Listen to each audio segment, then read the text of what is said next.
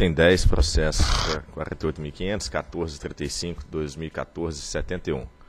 Realização do 13º leilão de energia elétrica proveniente de empreendimentos de geração existentes. Diretor relator, doutor André Peptoni, informo que há pedido de sustentação oral. Em 21 de março de 2014, pela portaria 118, o Ministério de Minas e Energia incumbiu esta agência de promover, direta ou indiretamente, leilão para compra de energia elétrica proveniente de empreendimentos de geração existente, o que ganhou o nome de Leilão A de 2014, para início de suprimento já agora em 1 de maio de 2014.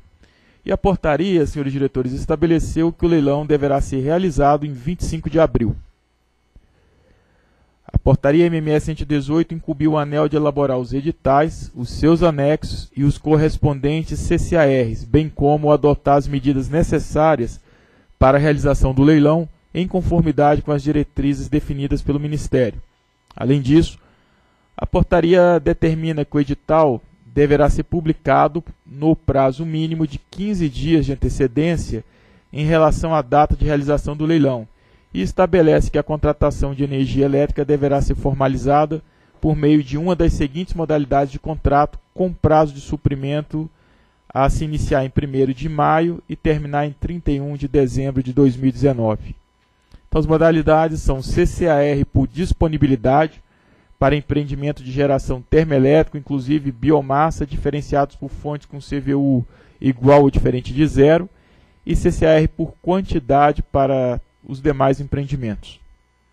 E em 28 de março, a SEM emitiu a nota técnica 32, na qual recomendou a aprovação do edital número 5 e os modelos de CCAR por quantidade e disponibilidade que irão compor os anexos do edital ao relatório.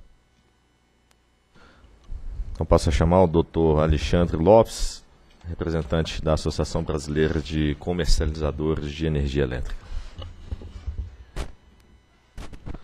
Dia, senhores diretores, demais presentes. É, eu vim aqui hoje fazer um pedido para que a ANEL é, realize uma audiência pública, uma breve audiência pública, para discutir alguns aspectos do, do, edital do leilão a zero, que vai ser realizado no dia 25 de abril. É, eu sei que o prazo é curto, determinado pela portaria do Ministério, mas a ANEL tem até ainda o dia 11 de abril para homologar o, o edital, então daria tempo de fazer uma breve audiência ou consulta pública de poucos dias é, essa audiência pública na ANEL é, é, talvez a única oportunidade que os agentes têm de se manifestar sobre aspectos do, do, do edital, das diretrizes, dos leilões de energia existentes. É, nós mesmos, na Bracel, nós temos uma, uma preocupação em relação à obrigatoriedade de identificar a usina nos contratos de compra de energia, que limita a, a concorrência, a oferta de energia desses leilões. E eu acho que a audiência pública, a ANEL também mantém seu, seu rito, sua tradição de transparência no, nos processos decisórios. Então seria esse o pedido de uma breve audiência pública, sem atrapalhar naturalmente as datas previstas aí no para a realização do leilão. Obrigado. Obrigado, Procuradoria. Trata-se aqui do processo da deliberação quanto ao 13º leilão de energia, de, que é denominado aqui de leilão A 2014. A previsão para a realização desse leilão está na portaria 118/2014 do Ministério de Minas e Energia, que por sua vez traduz a alteração no artigo 2 da Lei 10848, promovida pela medida provisória 641.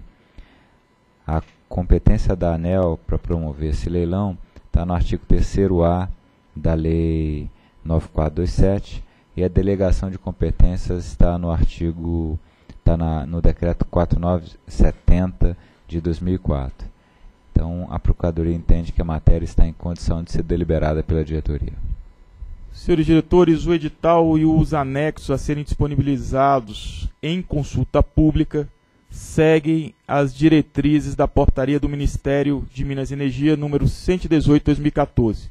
Destacam-se os seguintes pontos: o edital do leilão deverá ser publicado no prazo mínimo de 15 dias de antecedência em relação à data de realização do leilão, que está fixado em 25 do 4.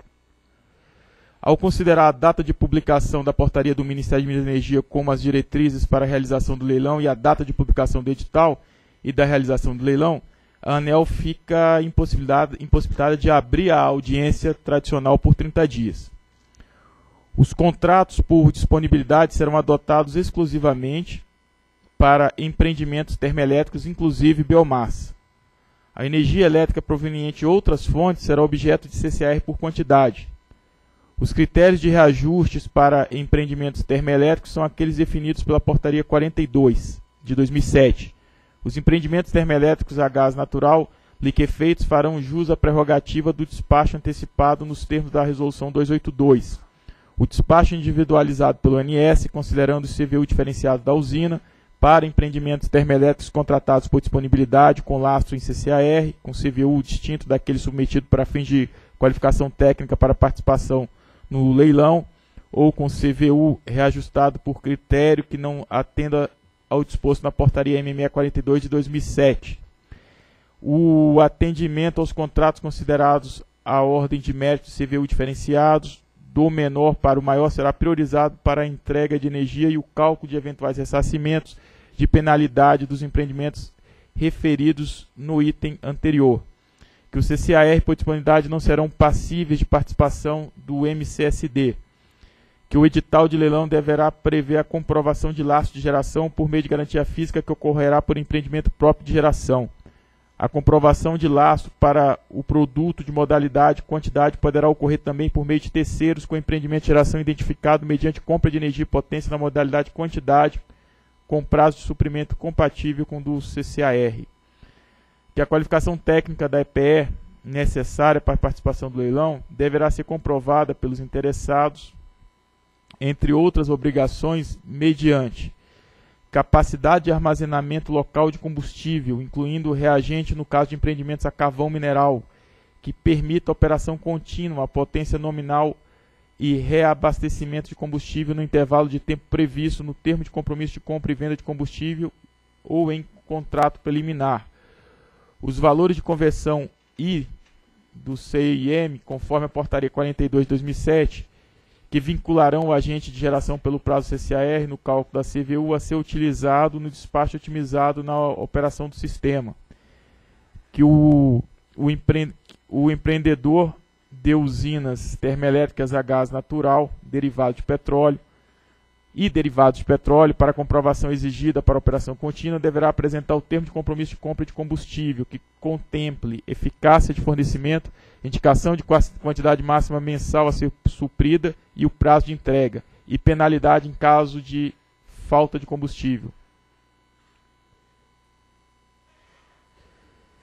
O termo de compromisso de compra e venda de combustível, o contrato para comprovação definitiva da impossibilidade de combustível para operação contínua deverá ser apresentado ao EPE até 30 de setembro de 2014, sob pena de revogação do CCAR pelo ANEL a partir de 1 de janeiro de 2015, ficando mantidas as obrigações do CCAR até 31 de dezembro de 2014 por conta e risco integral do vendedor.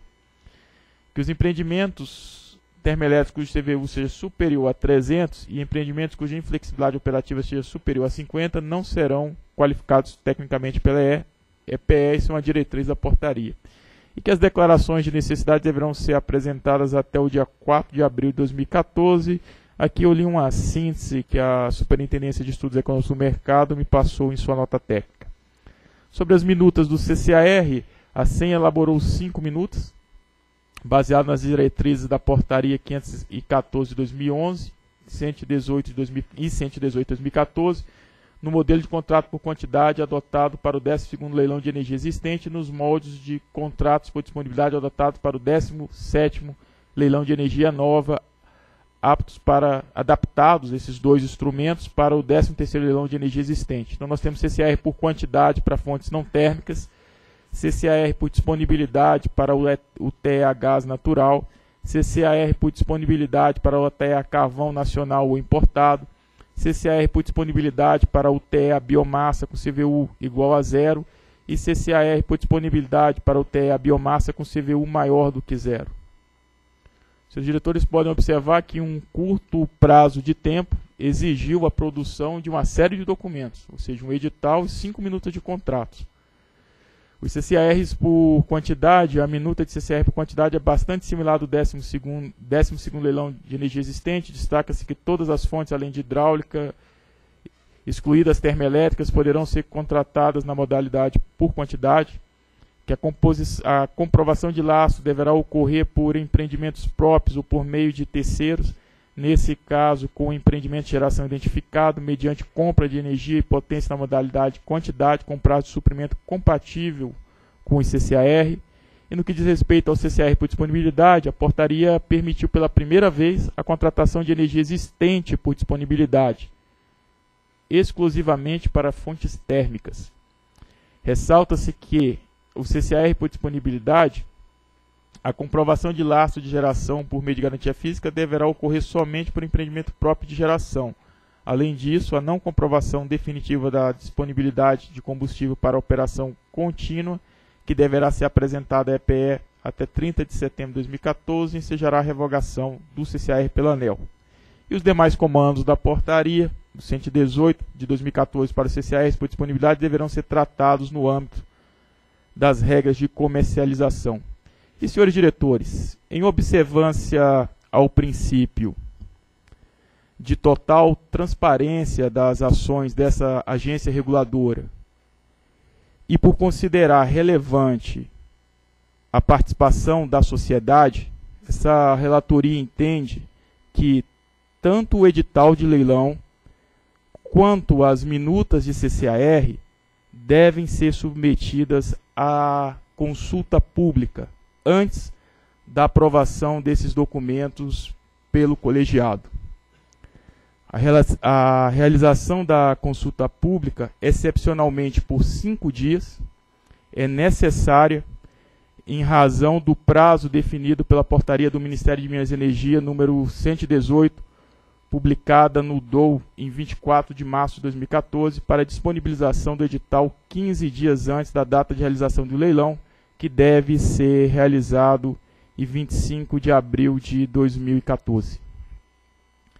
A partir de tal análise e das considerações apresentadas no processo número 48.500.00.1435.2014 de 71, voto pela instauração de audiência de consulta pública no período de 2 de abril, portanto, amanhã, e aqui, senhores diretores, seria que encerrar essa audiência pública no domingo, mas por ser domingo, então vamos passar para segunda, e aqui eu vou ter que usar uma tecnicidade que não é, não é comum empregarmos. Então vamos receber contribuições até as 9 horas da manhã do dia 7 de abril, para já na sequência, na segunda-feira, a equipe técnica possa se debruçar nas contribuições. E vou, vou acrescentar aqui no dispositivo. Então a audiência pública será a partir de amanhã, dia 2 de abril, até às 9 horas da manhã do dia 7 de abril de 2014, com o objetivo de obter subsídios e informações para a elaboração do edital do leilão número 5 2014 e dos modelos de CCAR. Como nós observamos na instrução, são cinco contratos abrangendo quantidade e disponibilidade que serão anexo ao edital.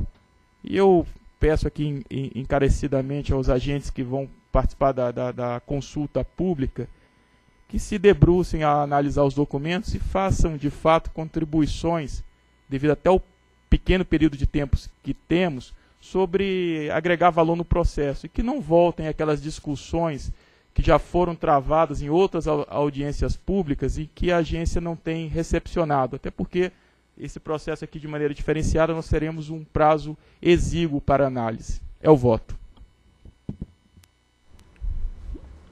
Bem, em discussão.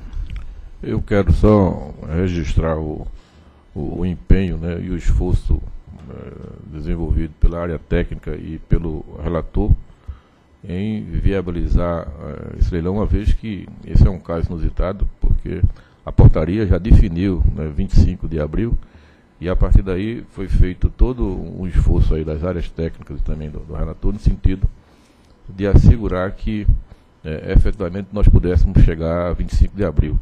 E, além disso, é, um outro registro que eu faço, apesar da exiguidade do tempo, a ANEL não abriu mão, né, de, mesmo assim, num prazo muito curto, fazer uma consulta pública. E aí atendeu aí ao interesse aí da, da, da.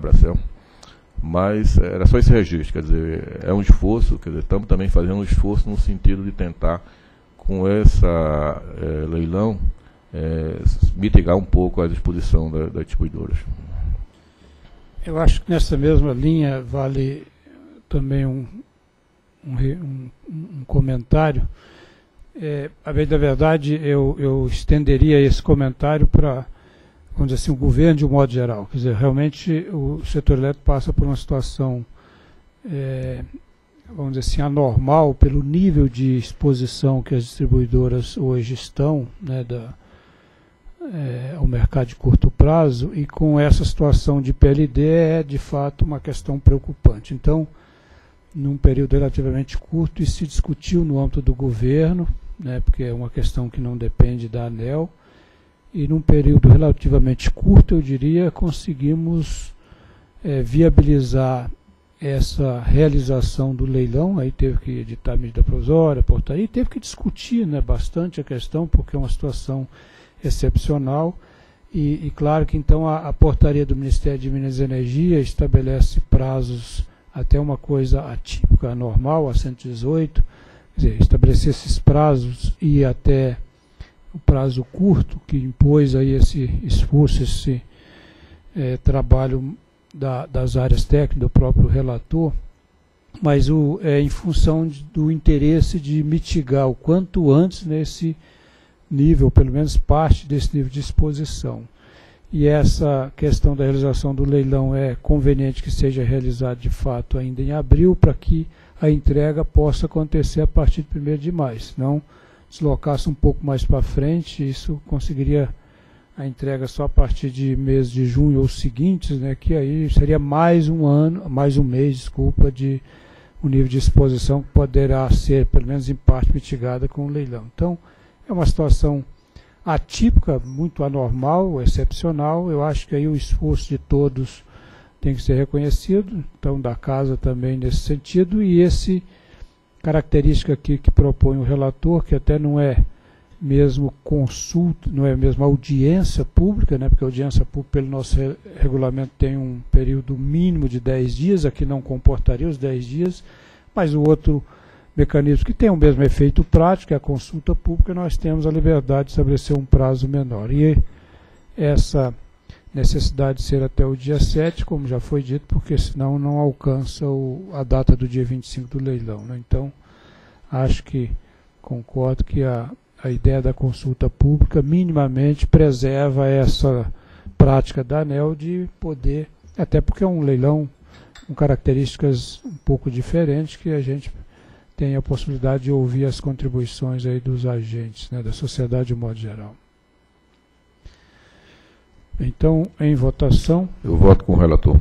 Também voto com o relator, proclamo então que a diretoria decidiu pela instauração de consulta pública no período de 2 de abril a 7 de abril de 2014, no dia 7 até às 9 horas da manhã, coisa pouco comum, mas como já justificou o relator, então, até às 9 horas do dia 7 de abril de 2014, com o objetivo de obter subsídio de informações para a elaboração do edital do leilão 5-2014 ANEL e dos modelos do CCAR por quantidade e disponibilidade que irão compor os anexos do edital. Próximo item.